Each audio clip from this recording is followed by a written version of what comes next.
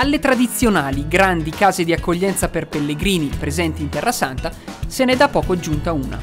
È la Casa dei Pellegrini di Magdala.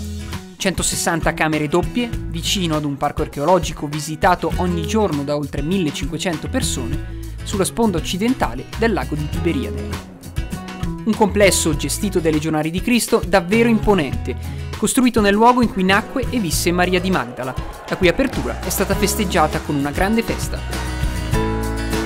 Credo sia il primo di questo millennio è a Magdala, quindi è un luogo che ha molto a che vedere con le donne, con le mamme, con le nonne, con tutte le donne del mondo e ringrazio tant- anche tante, tante persone generose che hanno collaborato come volontari, come benefattori, come artisti.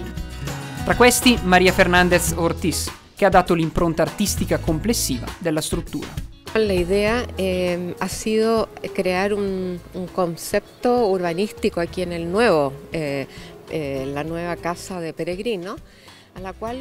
L'idea è stata quella di creare un concetto urbano nella nuova casa per pellegrini. Per questo ho progettato questa fontana, che si chiama Fonte di Acqua Viva, dove l'attenzione è puntata sulla trasparenza dell'acqua. Abbiamo l'acqua che arriva dal basso o dal sottosuolo. L'opera culmina nel mosaico che rappresenta la Galilea. È stato creato con quasi un milione e mezzo di tessere, piccole pietre naturali, ognuna con il suo colore, provenienti da diversi paesi e continenti. L'idea e il culmine di questo concetto urbano è quella di invitare i pellegrini, i turisti e tutti coloro che vengono qui a conoscere la terra di Gesù, ma anche ciò che c'era prima di Gesù.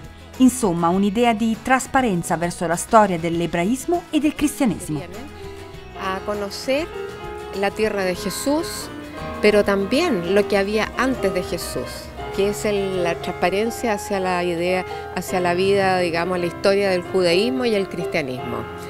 Da parte della Chiesa locale, ma non solo, è sempre più importante l'impegno sul fronte dell'accoglienza dei pellegrini in Terra Santa, il cui numero continua a crescere.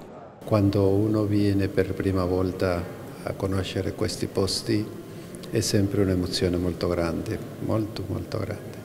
È quello che è questo complesso, perché ha tutto per per fare giorni di, di ritiro spirituale, di meditazione. Questi posti eh, sono da molta importanza per la Chiesa non solo da oggi ma dal tempo di San Francesco e adesso abbiamo un posto di più molto molto importante, questa è la gioia di questo giorno. Questo è un segno che insomma, non siamo ancorati al passato di quello che si è sempre fatto, siamo aperti anche alle nuove forme di accoglienza del pellegrinaggio.